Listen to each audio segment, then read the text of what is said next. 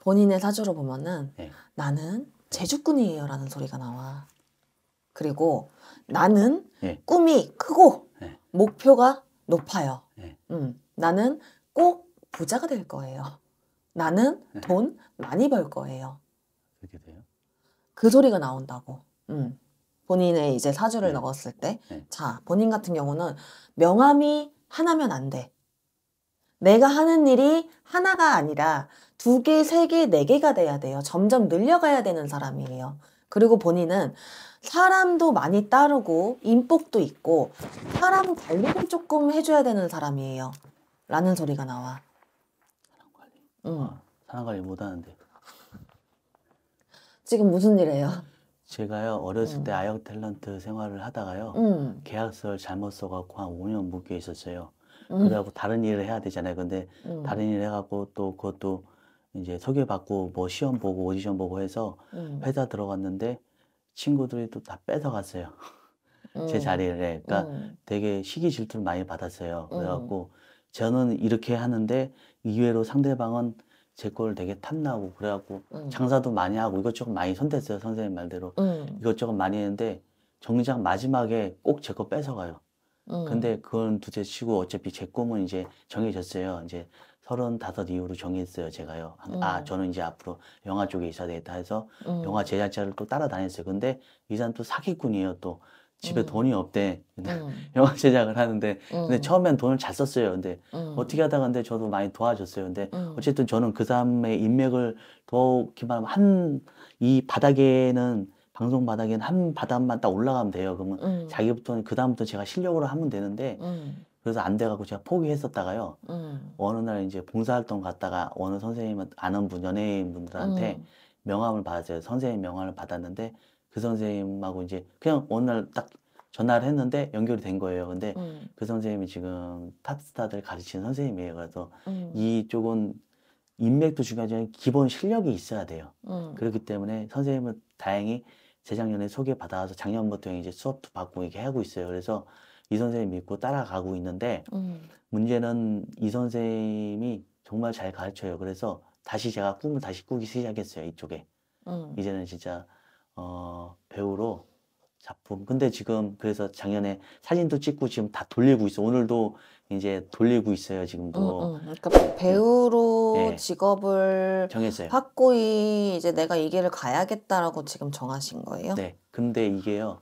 방송국 사람들은 생각이 어떠냐면요. 음, 지금까지는 제 생각만 중요하다고 생각했는데 아니에요. 그 사람들 생각을 읽어야 되거든요. 음, 그래서 했는데 혼자 활동하다 보면 그 사람들이 펑크 제가 혼자 활동하다 보면 저뿐만 아니라 많은 배우들이 그렇게 음, 얘기를 해요. 펑크 나고 그러면 방송국 사람들은 그래서 안 써요. 혼자 있는 사람들. 음, 그래서 회사에 들어가야 돼요. 그래서 회사에 했는데 저는 또 지금 나이가 많아가지고 음, 회사에서 또 안 받아줘요. 그렇게. 음, 그래서 어떻게 하다 이 선생님하고 지금 만나서 얘기를 하는 게 지금 하나씩 회사에 또 사- 세부적인 사항을 또 들었어요. 근데 이쪽이 그냥 선생님이 듣는 거하고는 진짜 이 바닥하고는 정말 틀려요. 제 친구들 다 지금 다 술집 가서 호빠하고 있어요. 걔네들이 회사에서 이게 한 번 밀어주잖아요. 기회가 음. 줘요. 그럼 한 번 밀어주는데 그 실패하잖아요. 그러면 술집 가야 돼요. 가서 자기가 왜냐면 회사에는 얘를 믿고 돈을 투자했는데 그 사람들은 어쨌든 음. 엔터테인먼트 사업이잖아요. 음, 돈을 투자했는데 얘가 그만큼 수익을 못 거뒀어요. 그럼 그 돈 가서 메꿔야 돼요. 자기가. 음, 네, 그래서 이거는 또 방송도 제가 신인들이 갈 수 있는 구- 군영 그 방법이 세 가지인데 독립 영화, 드라마, 영화 오디션 이렇게 있는데 너무 넓어요. 저, 저희 몇 년 동안 그렇게 수백 군데 강남에서 진짜 이리 뛰고 저리 뛰고 했는데도 안 돼요. 너무 넓어갖고 그래서 지역을 찝어야 되고 저한테 맞는 지역 회사를 찝어야 돼, 되, 되 도록이면요. 음, 뭐 그래서 어, 오기 온 이유는요. 지금도 어저께도 뭐 독립 영화 지금 준비하고 있는데 원서는 계속 보내요. 근데 이상하게 마지막 연락은 와요. 오는데 자꾸 마지막에 자꾸 이렇게 미끄러져요. 마지막에서. 음, 예, 물론 다 그렇지만은 음, 어, 올해 근데 지금 올해 초에 연락이 왔어요. 한 군데서요. 근데 그 회사에서 그 좀 크게 좀 할 건가 봐요. 이렇게 저 같은 무명 배우들 데리고 근데 지금 오픈 준비 중이래. 이렇게 홈페이지 제작하고 이제 음, 그리고 미- 리뉴얼 중인데 아마 거기서 연락 올 것 같은데 어, 자 그러면 첫 질문은요. 너무 길었죠. 근데 왜냐면 이걸 얘기해야지 얘기하세요. 음, 어, 올해 안에 뭐 음. 하나 들어와요, 작품이요? 올해 작품이 들어올까? 네. 아주 큰 역할은 아닌데 네. 지금 빠르면은 5월 수전부터 무언가 움직여서 9월에 무언가 본격적인 게 시작이 됩니다라는 소리가 나오는 게 있어요. 네. 그러니까 정확히 들어오는 거는 네. 9월이라고 보여요. 음, 연락은 5월에 온다는 얘기죠. 어, 뭐 그렇게 될 확률이 있죠. 5월부터 무언가 네. 움직이긴 시작해서 네. 무언가 아. 움직임이 네. 시작이 돼서 네. 9월 달에 무언가 조금 확정이 되는 것들이 있다. 음, 어, 근데 올해 배역이 들어오기는 한다. 네. 근데 두 가지일 것 같아. 네. 어. 배역이 두 가지예요. 네. 그 중에서 고른다기보다는 네. 더 어울리는 쪽으로는 분명히 가겠다. 근데 두 개가 무언가 들어오는데 이 둘 중에서 또 선택을 해야 되는 게 있어요. 네. 작품이 예를 들어 하나, 두개 했을 때 그 두 개가 들어온다는 거거든요. 네. 어. 그 중에서 선택을 해야 할 거다. 네. 응. 그게 드라마예요, 영화예요, 동, 어떤?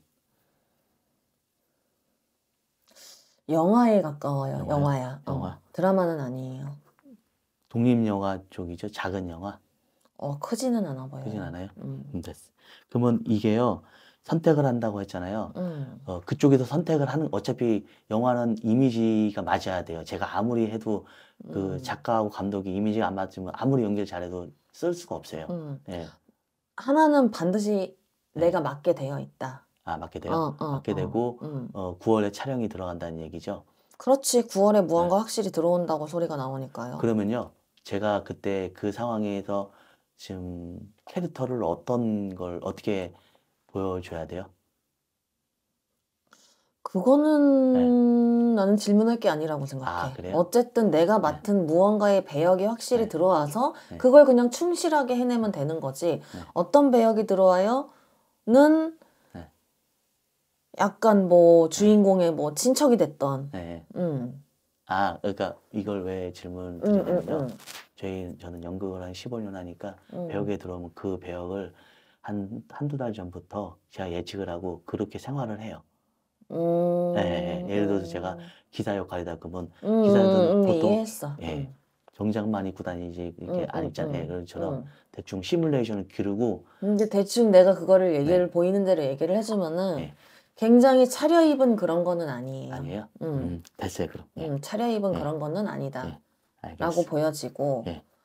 그리고 43세 배우로 이제 자리를 잡으려고 지금 뭐 목표를 확실하게 잡았다. 네. 음, 결국은 예. 내가 사람 관리라고 얘기한 거는 예. 내가 이 방송에 나서는 사주라기보다는 예. 그런 애들을 발굴하는 게 솔직히 어울리죠. 어, 더 어울려요. 본인 사주는 그러해요. 내가 배우로 나설 게 아니라 그래서 사람 관리라고 얘기를 하는 게 무언가를 모으고 발탁을 해서 내가 넣어줘요. 왜 그 능력 능력이라기보다는 그 발판을 어쨌든 있잖아요. 어떤 감독을 알던 어떤 네. 배우를 알던 그 발판은 있는 거잖아. 그렇죠. 그래서 그 사람 관리를 하는 게 차라리 내가 무언가 그나마 내 이름을 그쪽에서 알리고 예, 예. 내가 무언가 또 돈을 벌 수가 있고 그게 더 가까울 거예요. 내가 나서는 것보다 이해하셨죠? 예. 음. 근데 저는 그 성격이 안 맞아. 아, 한국 장사하다가 한국 사람 대해서 음. 제가 질렸어요, 진짜. 음. 근데 배우 직업을 가지더라도 네. 내가 아까 전에 명함이 여러 개 네. 해야 되는 사람이에요라고 했잖아. 예. 그래 배우라면은 뭐 의사 역할도 할 수도 있고 뭐 네. 동네 바보 삼촌 역할도 할 수도 네. 있고 그래 그렇게 따지면 명함은 여러 개가 맞지. 근데 배우를 하지 않더라도 네. 본인의 사주는 명함이 여러 개여야 돼요. 한 가지 일만 잡고 갈 수 없는 사람이라는 거야. 음. 이해하셨어? 네. 근데 분명히 얘기한 게, 어, 배우로서 빛을 보기에는 힘들어요. 네. 어, 그거를 차라리 모아가지고 내가 네. 조금 판을 깔아주고 네. 이거에 조금 더 네. 내가 잘 될 수 있는 어, 네. 그 확률이 훨씬 더 높습니다라고 알고 계셔야 돼요, 그거는. 두 번째 질문이요. 아, 올해 제가 어느 분한테 그 친구가 매년마다 이렇게 봐요, 이걸. 운세, 오늘의 운세 뭐 그걸 음, 아는, 음. 보는데 제 걸 이제 갖고 갔대요. 근데 올해 다음 달이죠. 이제 내일이면 다음 달이잖아요. 음. 4월 달에 해외 나간다는데 음. 그게 맞아요? 그 얘기가? 음. 왜 중요하냐면요. 선생님, 어, 죄송해요. 그게 맞으면 그 사람이 얘기한 게 어느 정도 일리가 있다는 얘기잖아요. 음. 네, 그래서 여쭤보는 거예요. 올해 해외 수가 들어있긴 하지만 난 다음 달인지는 모르겠어. 아, 그래요? 음. 네. 촬영차 때문에 갈 수도 있겠죠. 그, 그 이유, 예, 그게 궁금한 거예요. 촬영 음. 때문에 제가 근데 4월 달로 집히진 않아요, 나는. 음. 그게 개인적으로 가는지 아니면 타의적으로 일 때문에 가는 건지 일 때문으로 일 보여요. 때문에 가요? 응. 4월은 아니다는 말씀이시죠? 응, 4월로 보이진 않아요. 좀 시기는 아직 응? 시기 5월, 6월 올해 안에는 간다는 얘기죠? 그러니까 올해에 들어 있다고. 네, 올해, 올해. 네. 어. 네. 음. 음, 잠깐만요. 저 결혼이요. 결혼이요? 네. 결혼은 언제쯤? 2년이 그래서 저도 저 솔직히 31살 때 응. 예, 사랑하는 사람 만나서 결혼할 줄 알았어요. 그러면 그랬으면 아마 제가 진짜 이 직업을 좀 다시 생각했을 거예요. 다른 일을 했었을 거예요. 선생님 음. 말씀대로. 응. 근데 어, 일단 안 됐어요. 일단 제 인연이 아닌지 아니면 뭐 어떻게 응. 그냥 와 마찬 결혼 후는 네. 마흔 지금 셋이죠. 네. 마흔 다섯부터 열린다고 소리가 나와요. 만 다섯 근데 분. 네. 본인 일부 종사 사주 아니에요. 예? 일부 종사 왜요? 사주 아니라고요. 바람기 있어야죠? 아니 바람을 핀다는 소리가 아니라 네. 일부 종사의 사주가 아니라는 거는 한 여자랑 백년 해로를 네. 못 해요를 얘기하는 거야. 맞아요. 바람을 펴서 헤어져요라는 소리를 나는 안 했어. 아, 네. 그냥 본인 사주에 들어있는 게 일부 종사가 안 되는 사주다. 그래서 두 번, 세 번 결혼을 할 수가 있다. 그 이유가 뭐던, 어떤 여자를 만나던. 이해하셨어? 네. 응.